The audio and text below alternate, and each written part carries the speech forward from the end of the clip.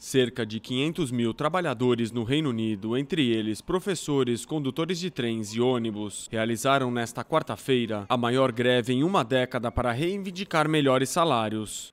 A Confederação Sindical informou hoje que vai entregar ao governo uma carta assinada por 200 mil membros em protesto contra um novo projeto de lei em tramitação no parlamento que visa estabelecer níveis mínimos de serviços durante as greves.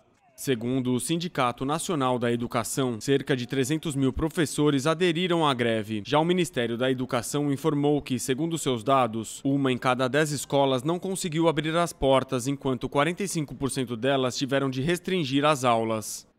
Os professores realizaram uma manifestação massiva pelas ruas do centro de Londres para expressar seu descontentamento com a perda de poder aquisitivo sofrida nos últimos anos e agravada pela inflação, que em dezembro do ano passado situou-se em 10,5%.